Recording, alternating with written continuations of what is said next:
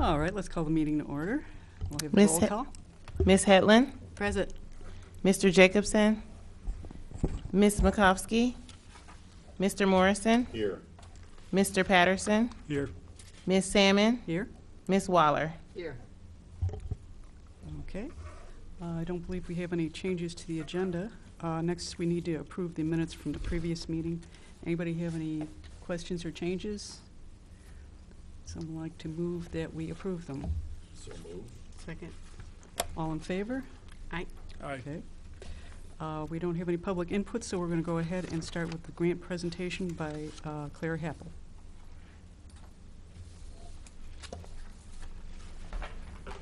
Welcome back. Thank you. Um, I'm gonna open this up, okay. Okay. So, um, thanks for giving all of the, um, the artists who have been granted these awards, um, the opportunity to come talk to you guys. It's nice to have it kind of close with, um, explaining what we did and telling you how um, how it came across to the people who we presented to. Um, I presented three concerts. They were um, concerts of works for oboe and harp, inspired by Rilke's sonnets to Orpheus, and we presented them at the Urbana Free Library at Clark Lindsey Village and at the um, University of Illinois Rare Book and Manuscript Library. Um, the idea for the concerts came with two pieces um, for harp and oboe that use Rilke's words from these poems as inspiration. Um, Elliott's, Elliott Carter's trilogy and Harrison Birtwistle's Orpheus Elegies.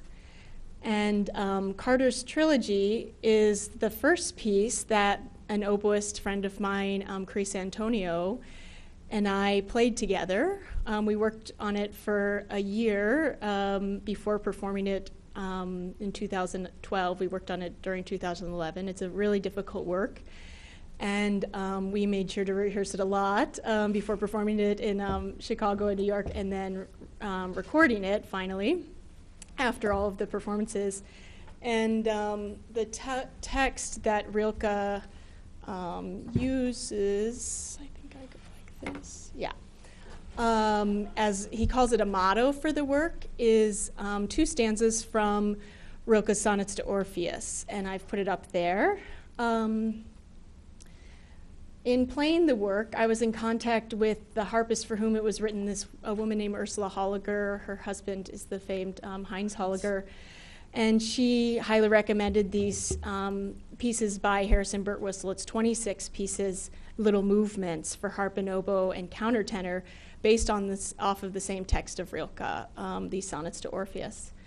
And um, we wanted, I wanted to put together a concert with both those pieces, but then to fill it out.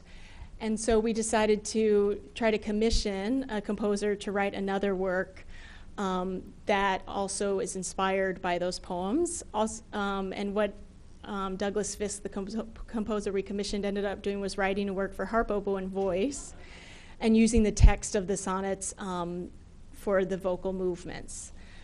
Um, in researching the poems for the concert, um, I found there that there was a Rilke collection. There is a Rilke collection at the Rare Book and Manuscript Library at Illinois that has these really beautiful books, limited edition collections of um, these poems with illustrations that different people have have drawn for these limited editions.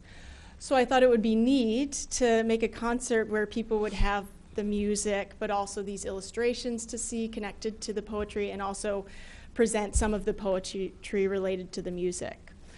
Um, and um, I felt that it would get a wider variety of people there too, um, people maybe not just interested in the music. So um, I felt that there were three, three ways that the concerts aligned with the goals of the Urbana Arts Grant Program.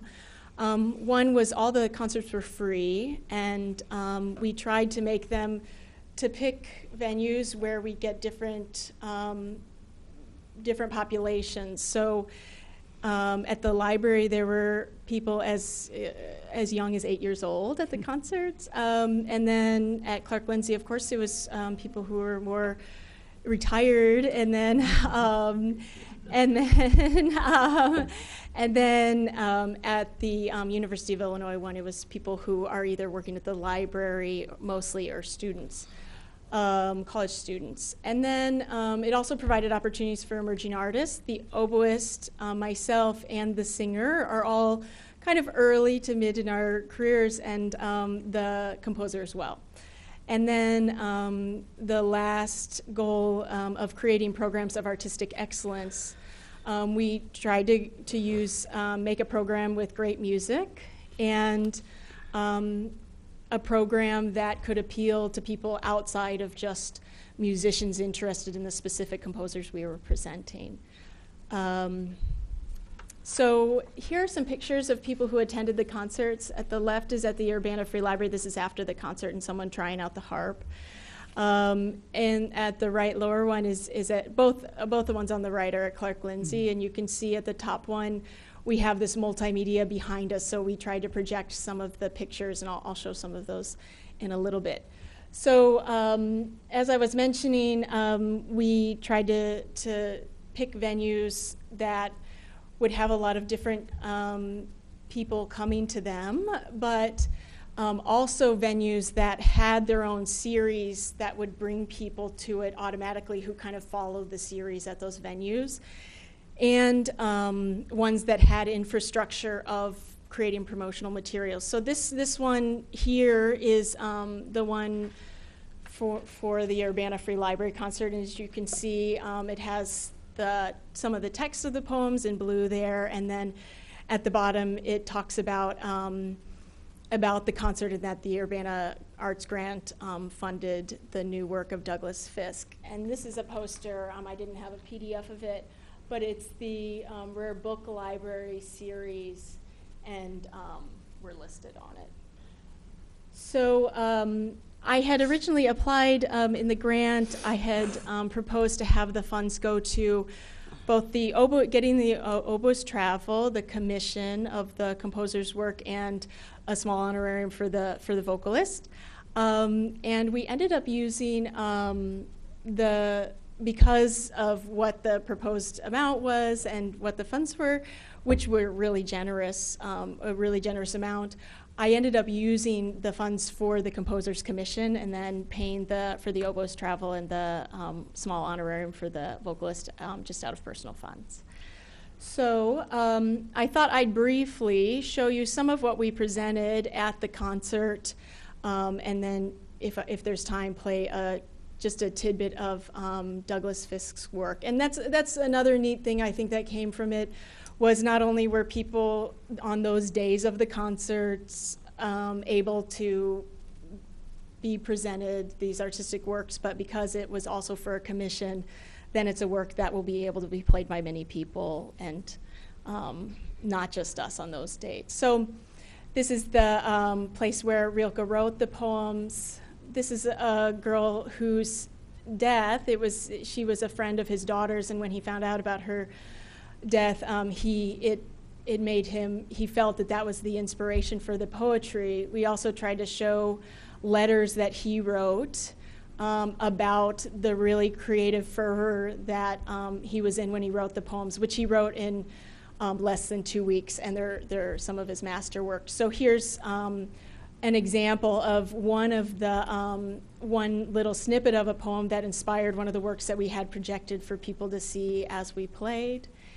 Here's a scan of, of some of the things from the Rare Book Library. And then there was also a woman, a violinist, who, um, whom Rilke felt was her playing of Bach's violin sonatas at the time he was at this chateau was also an inspiration for the poem. So I played um, one of uh, movement from one of Bach's violin sonatas on the harp. Um, here's an, there's another. Um, there was another example of one of the pictures, and here's some more. Um, and lastly, um, we have this video of I just took one of the oboe and harp movements. Um, I think if I just press play, it'll do it.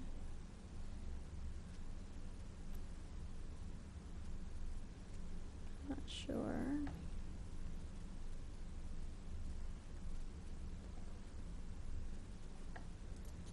Um, maybe we won't get the video. But we could have the audio. They're really short. There's nine short movements that he wrote. Okay. And this is the concert at the Rare Book Library.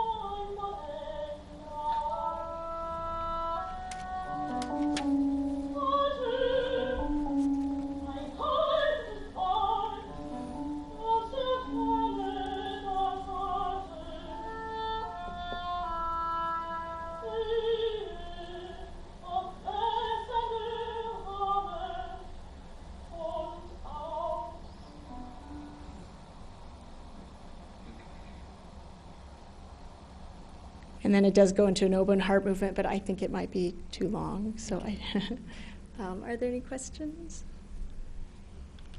Anyone have comments? Looks like a great project. Cool. Yeah, Thank you yeah. For exposing it to so many different people in the community, too. Yeah, Yeah, was that was a good do. idea. And Yeah. who were the other two collaborators? The two performers, the oboist and the, the one I saw, but uh, who was the mezzo? The Em- the mezzo, yeah, Emily Alcorn. She's a student, yeah, at at Illinois, a master's student, and the oboist. She lives in New York, um, and um, yeah, as I um, mentioned, um, she um, and I have worked on this Carter, one of the pieces that we Right. played, yeah, before, and um, um, yeah, as a an oboist from New York. It was a Yeah. nice combination. Yeah, yeah. Very good. Well, thank you. Yeah, Good. thank you. Thank you, Claire. Thank you for doing it. Yep. Okay. uh, I assume we're still waiting t- for 5 o'clock to do the one, f- the uh, Asian American one? Yeah, okay. They're here. Oh, Oh, okay, that's what I thought. Okay. Okay, well, should we move the order then? Yes. Okay, next thing is going to be the grant presentation by Em- Emily Roman uh, from the Amer- Asian American Cultural Center.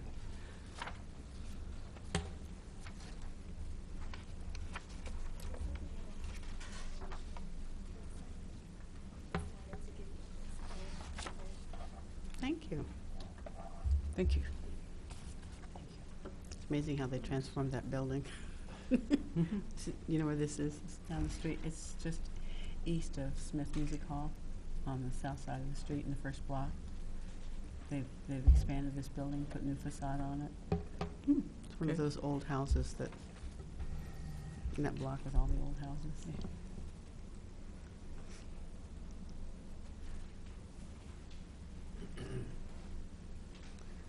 Okay, um, so my name is Emily Roman. I'm a second year intern, um, student intern at the Asian American Cultural Center. I just wanted to start off to say um, thank you for giving me the opportunity to speak here today about our API Heritage Month, um, our Asia Fest celebration.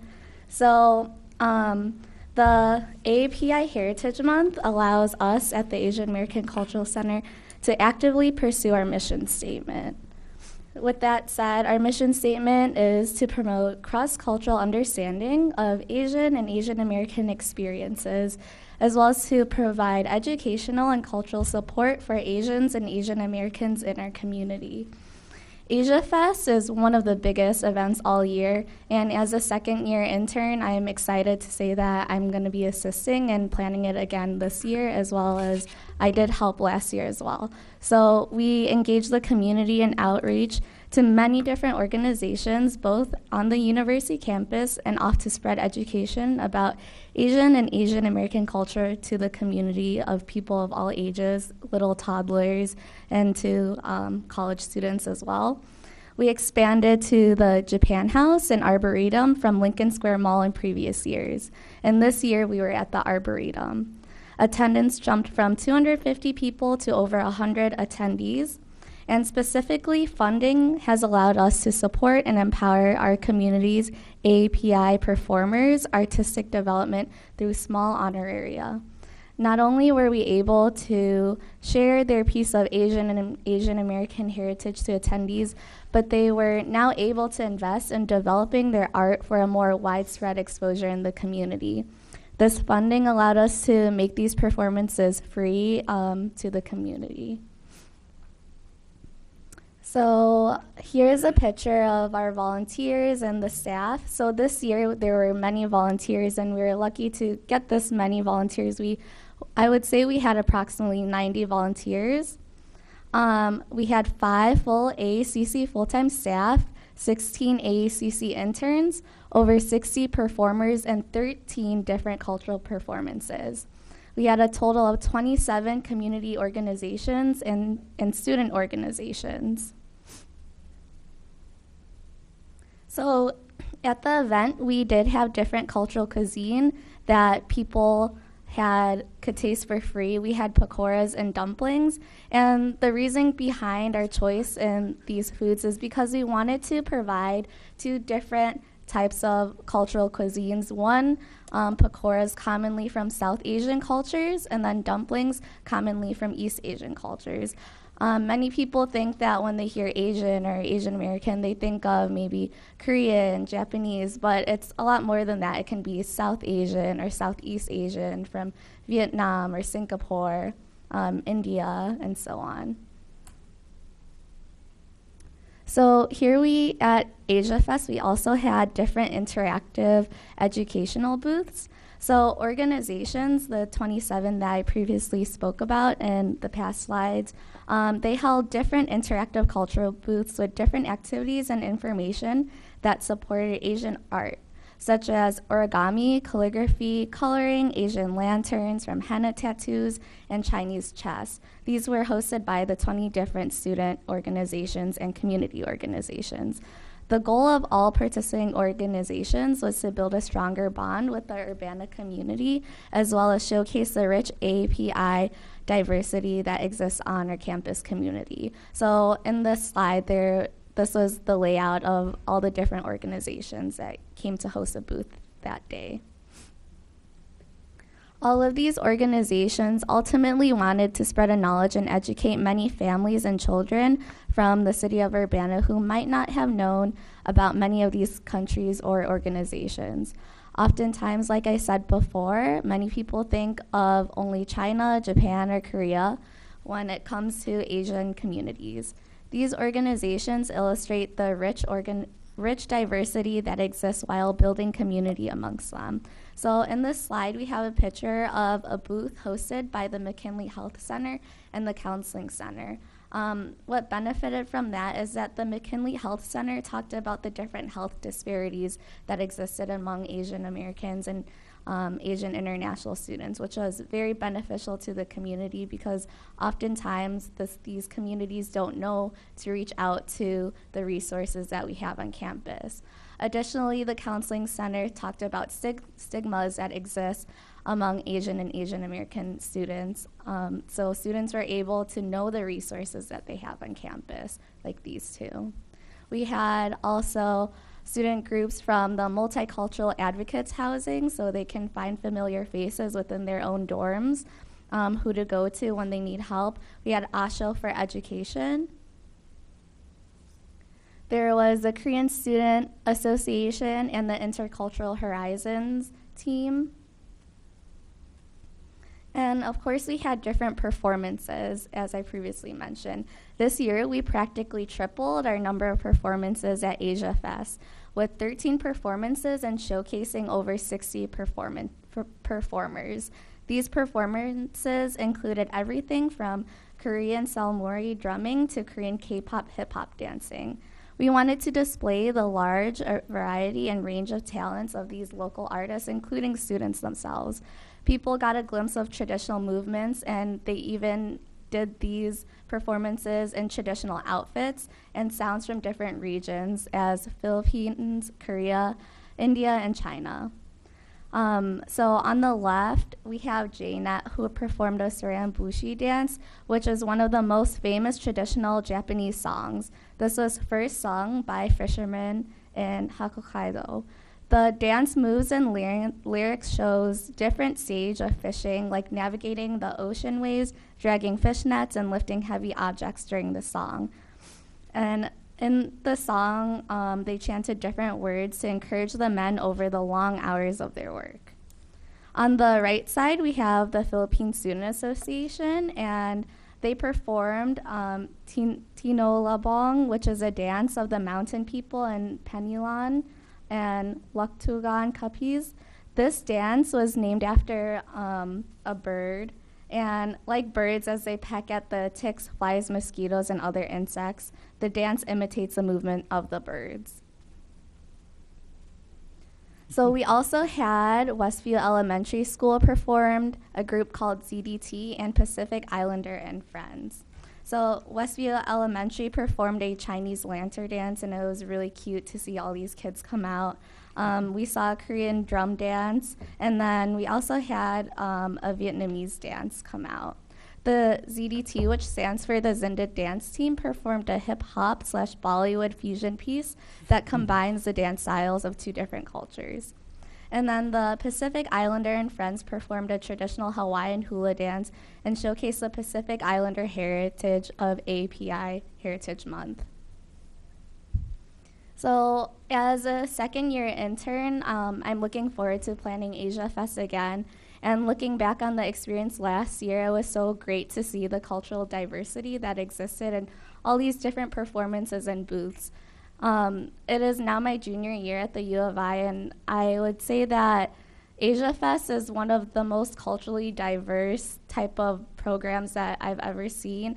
I've never even seen Korean drumming until I came to campus, or even um, met another like Filipino on campus because I lived in a different dynamic um, back at home. So being able to have such an event here where students and even the community members can come to is um, it's really great to have because it not there aren't many communities I would say um, that hold such a wide scale event to really see the diversity that exists in um, Asian American and Pacific Islander culture. Um, so it was really impactful to see as a student, but also impactful to see um, as an AACC intern to see um, everything I helped plan come to life at this event. So, without your support, we would not be able to bring these performances to Asia Fest to inspire children to continue to learn these dances and songs as well as showcase these talented artists. Thank you. Okay. Questions? Well, it sounds like you've done a great job of growing this and involving a lot of the groups in the community, so I'm really happy to hear that. Yeah, it's very impressive. Did you sleep? Everybody, you know, put in help. But still, I, c- I appreciate all the effort that went into that. It's very, very impressive. Congratulations. Yes, thank you. Okay, I- Big impact. let's see.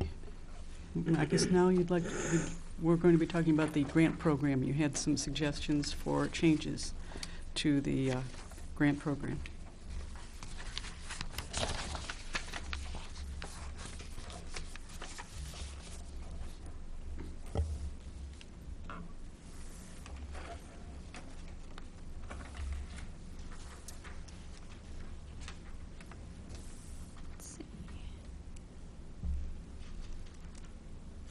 We start slideshow. Slideshow at the top. Where?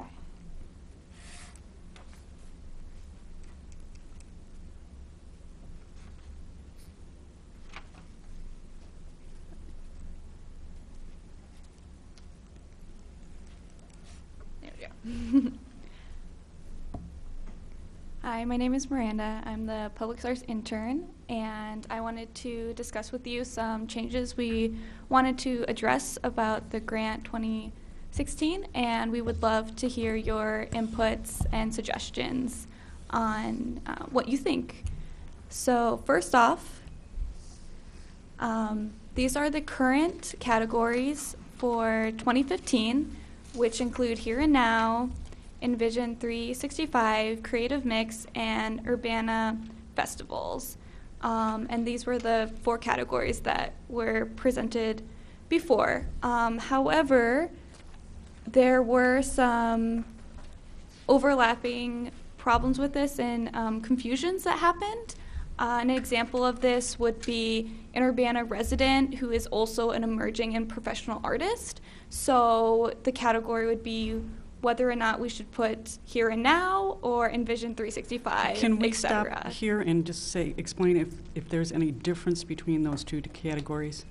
Uh, In either the amount awarded or any other part of it? Yes, so there there are differences in each category on Mhm. you know breakdown on how much um, funding is provided. So that's another you know. Yeah, I know uh, each of the different categories, but I'm just talking right now about the here and now and the Envision 365. Those two. Those two. Well, this is kind of just an example of um, Mhm. what someone could be having trouble with on breaking down whether or not which grant they should apply for and which grant we should let them, you know, fall into. Does that did I answer the question? No. I'm sorry. Uh, So what you're saying is that the clarification on the application form needs to be clearer? So pe- I mean, Yes. people have, we've been doing this for a while, so people have obviously decided one way or the other what they're going to apply for. yes. Has there been feedback that generated this?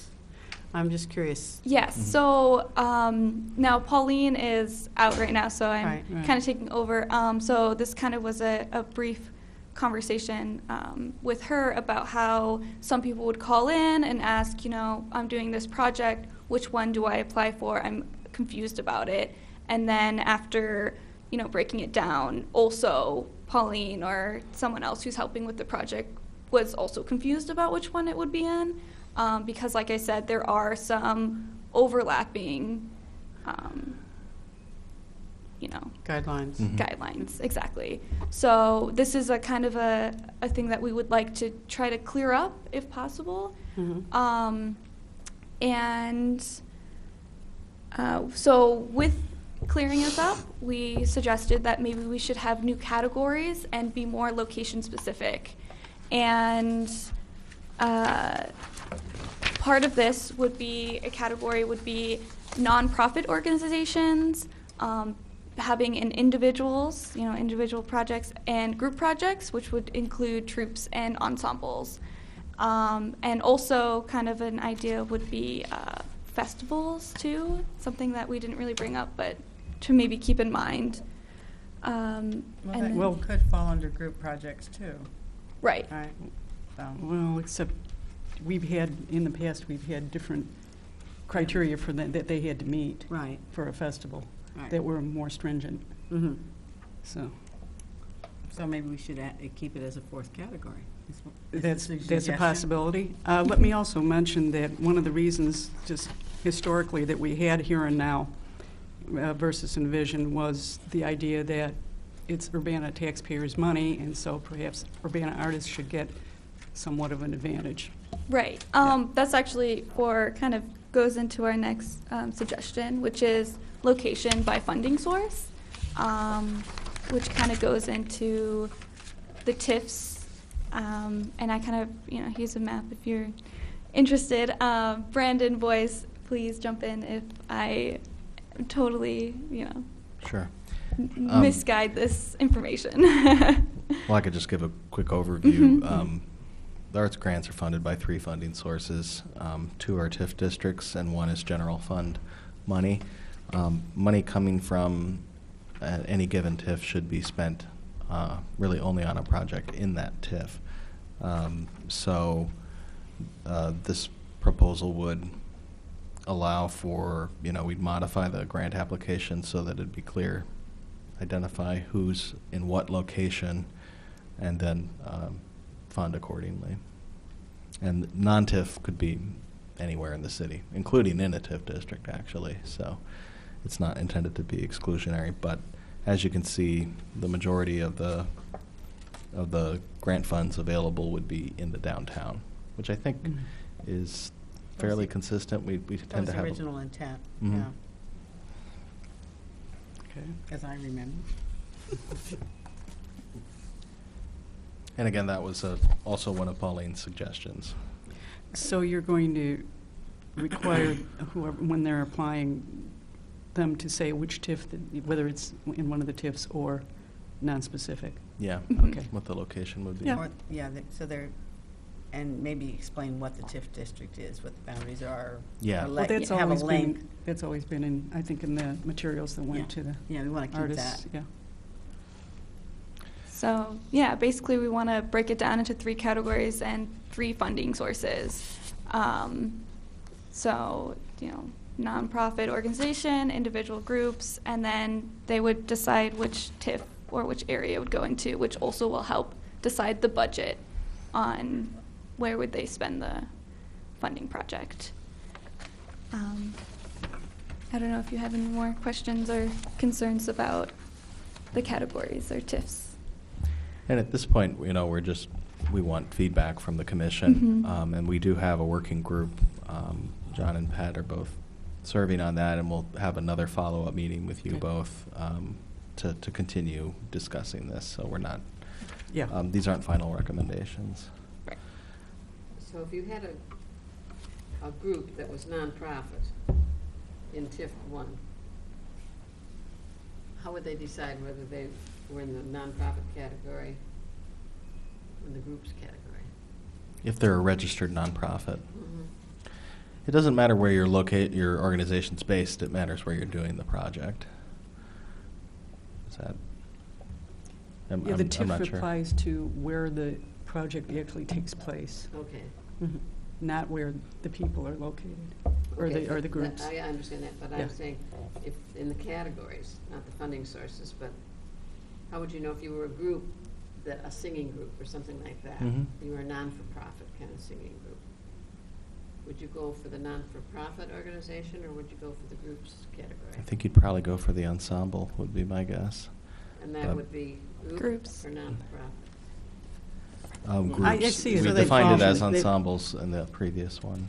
So they can fall into two categories, technically. It's, It's not exclusive, exclusionary. So then that would lead to more confusion. well, I think, I think the It's dynamic. music, it's got to be not-for-profit. I, I think the dynamic Pauline was trying to set up was that the juries, we would have, you know, it would be, you'd be individual artists competing amongst individual artists, you know, organizations competing with organizations, Organizations and and groups. ensembles or troops competing with. Right, but then you do, are going to have some ensembles that are nonprofit, because they've been around Yeah, long enough and they it's set tr- themselves it's- up that way. It's true, yeah. Yeah. That- That was my question. Yeah. What Yeah. category would they fall into then? That, They could that's- choose. Yeah, They could choose. I- I We have to mean, figure out, I guess. Yeah. Okay. Well, there's probably no breakdown that's ever gonna be perfect. I mean, that's, that's true. Yeah, trust me, we've gone through Um, several cycles Yeah, I- trying to change things, and then there's, there's always some confusion. Sorry, Right. I Yeah. didn't mean to bring up the Oh, no, no, no, no, confusion. no. Good thing that- No, No, I it's- think, that- I Good. think the intent is to try to clarify the confusion and avoid it. Yes, and, um, you know, I, we put, um, we really value Pauline's um, opinion on this topic, uh, but Mhm. unfortunately, I don't know all of her rationale for why she was recommending it this way, so Yeah. I'm, um, we can do our best to, to research that more and figure out. Okay. um, Well, why- you might just why mention to her yeah. that we had that question. Yeah, My guess is it grew out of all the phone calls and emails that she got trying to Yeah. clarify it, and she began to get a sense, it seemed logical to me that that's probably what, what is behind all this. I would guess that's what's happening. And as more and more people become aware of this program, and we've all, cha- everybody on this commission has championed it and tried to bring it to the public's awareness, more and more people are applying, and that's where the, Mhm. Right, it's bound to happen. sure. Uh, Anything to make it clearer and more expedient for, on both sides, I think is a good thing. Yeah, I- that, that is the intent. I- Yeah. But I I have a question, because I'm, I'm curious, I'm seeing something on the back page, I don't know if you've turned Oh, to yeah, the let's- Oh, Yeah, yeah, just we keep have going. Yeah, we one haven't more, one more, yet. yes. Yeah, okay, I'll wait. because this is a it's a little bit of a a switch, but um, the concept of free and open to the public requirement. Um, now there are some things that were brought to my attention that should some projects be allowed to charge a small fee. An example of this specifically was the Champaign Urbana Symphony Orchestra, um, and they have done grants for the, a few years in a row, and um, kind of their overlapping problem is that they have to charge a small student fee of $2 per student, which is significantly reduced to what normally um, they charge. And they also have a specific audience, which is students. So the question behind this, and you know, something to think about, is whether or not um, this can you know, be allowed or whether or not they should have a criteria whether it's a nonprofit can be allowed to do this or submit a letter explaining why or if that ends up into more gray area. So um, that was just kind of a, a very specific situation and of other um, organizations just like that. What, why does, why does this stop them from being a nonprofit? Um, Do they say this is specifically profit? this is not for profit. So this is a this is a nonprofit organization. So I guess Um, we're confused about why they have to charge a fee. And I'm not, I'm a member of the symphony, and Jenny's a member of the guild, and uh, where, where did this n- information come from? Oh, well, I, I remember when I was on the, um, when we select, when we were selecting the group that I did, this, this came up in the meeting I was in, that they, that they charge two dollars. I was not aware of that. I, I know Krannert itself charges when it's a concert, because it's their ticket fee, that's their ticket overhead, but there are no tickets, and it's a free event. I, th- well, I think that, I f- you know, I, I, I don't remember exactly, but I know, I'm sure Pauline does. Um, but I think it was something to do with, uh, it, w- it, w- it went to Krannert, or t- would had something to do with it. I, I could be Yeah, wrong, it but would it not was be the something- symphony, it would be, it, um, Yeah. so just to make it clear, we, we need to, to find out about this, because I know they're free concerts, so it's more of a Krannert charge, or it's something for the buses. Yeah, it But could it's- been. the symphony yeah. does not charge for those concerts. Matter of fact, Jenny raises money so they can be free. So I think we need a clarification on that one. Yeah. Right. Um, I don't know if you wanted. I'm not entirely sure, and this might be, not be a per person charge, is it, is it possibly a charge per student It's per to the student. school? It's through the school. Um, so, you know, this is another thing that I'm, you know, not entirely sure about. Um, so I'm just kind of throwing off of my ideas, but uh, I know that they have definitely tried to make it not any charge at all, but w- for whatever reason, there is a two dollar per student um, charge for this event. Um, I think it's just because it's it's such a big event and so many people are involved in the buses and everything that you know reducing it to nothing is um, ha- they have trouble undoing this. Um, So I think that the reason that we're, that, you know, Pauline included this in her recommendations, um, and the real question is, should we allow in our granting process some way that, you know, people can explain the situation, explain why there's a fee, and, and see if administratively we can make an exception. That is opening the door. Yeah, And could I- lead us to, you know, having to tell a lot of um, promoters or, you know, uh, other profitable enterprises, perhaps, telling people no or having, having to spend a lot of time looking at those kinds of things. So it's really a, an open question to the commission as to whether or not this is a, a path you want us to look at more This is, this is the only issue like this, right? that I'm aware of. Yeah. I don't think we identified any others. No, I, I think this is, we I'm should not- just look I'm- into this. I'm- This is- 'Cause, uh, yeah, I think it's the only one, and we were, because I was with the group that went over it, and it was, we were all confused. I know that it made more sense when we had, because it had an explanation for what, Mm. what the charge was for and who, what it went to, but I, it- you know, I, I can't remember what it was. Okay. Well, I'm going to try to find out. I've just sent a text message to the executive director to see if, and see if he, and he's usually pretty good about answering. So we'll find out, because in 31 years, this is new to me, and I used to be on the board for So- nine years. So I'm, I'm surprised, unless this is a very recent charge that has happened. So we will look Sure. into this specific Yes. situation, but we won't um, pursue changing anything about the I grant would not. program. Right, Hmm. that's what we, right. All right. Um, And those are um, basically the topics that we uh, came up with, so. Okay. So are there any other issues anyone on the commission would like to raise now? Even just questions or, you know, random, random thoughts about the, the grants program? We're all ears. I do have a question about the new cycle when application, because I looked on the website today, I was recommending to a group that had Mhm. contacted me, and I went onto the webpage, and the information for the next cycle has not b- been That's correct, yeah. updated yet. And um, I explained to them, we're in transition right now, so, but I was curious as to when the next cycle will, do we know yet? Soon. TBA. It's the best answer I have for you, I'm sorry. Well, I, I, I realize we're behind uh, in, in our, Mhm. our normal scheduling plan, Right. but I was curious if you knew anything. And I just said, well, keep watching and I'll try to find out some information for you. Otherwise, you know, wa- go to the website and keep, keep an eye. Yeah, and we will, we will promote it heavily Mhm. once it's. No, I'm sure you will. And We have the Facebook page and the Twitter page and everything, and the, Right. nu- the um, newsletter that comes out with the, from the UBA. So there's a lot of ways to get the word out. Of course, I guess the News Gazette will be another, Right. op- and the radio station and things. Yep. Yeah, absolutely. When in doubt, I send them to the website. Sure. That's what I was gonna ask, is how the word gets out that these grants are available, but you basically answered that question.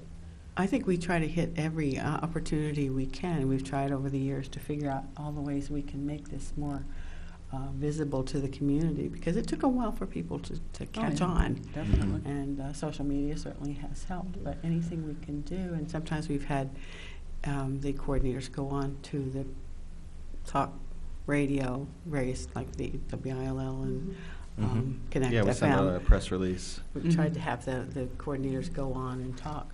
And any opportunity we had to talk about the good work of the commission, we, we've tried to explore it. And we've typically had uh, in-person presentations as informational sessions. And um, the College of Fine and Applied Arts actually already had a proactive informational session uh, that Michelle Plant put together for students in the program. Basically, just sort of encouraging them to look at the program. And um, she said, I think they had record turnout this year. So Mhm. That outreach effort has been growing, and they view it as a great opportunity they want to let their students know about. Well, she was actually on the original She group was. that, that for- uh, founded the grants. so, Mhm. yeah. I was gonna say that, yeah. Yeah. Yeah. So All she's right. helping from afar, not so far. Yeah. It's, it's good to hear. Yeah. Okay, I don't, eh, did anyone else want to say anything about the grants right now? Okay, I think we'll go ahead then with the uh, monthly progress report.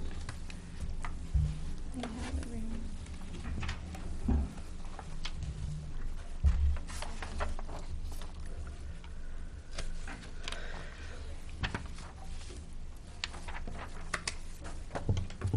do that during announcements.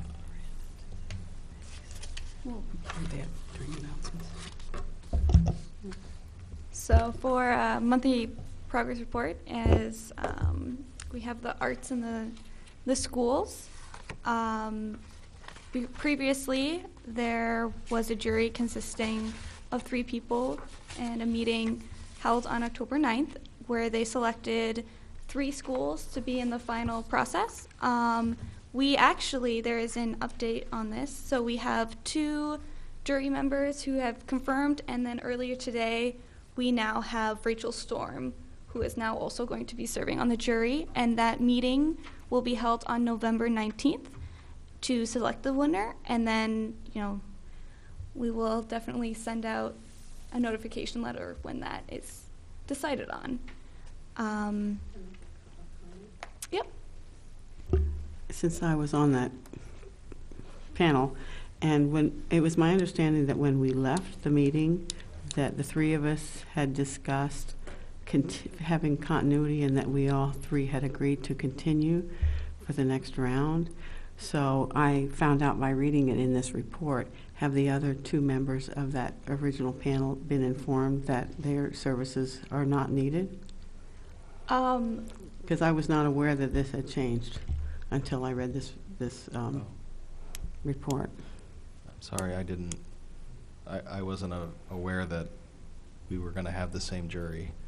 Um, Well, it's, I'm sure it got lost in the cracks between the previous intern, but that was the final decision of the panel the day we left the meeting, was that we should continue so that we had continuity. I'm sorry, but I, I don't believe that a jury has any authority to dictate the they- we were asked, composition of a future jury. But we were asked, and we all agreed to serve.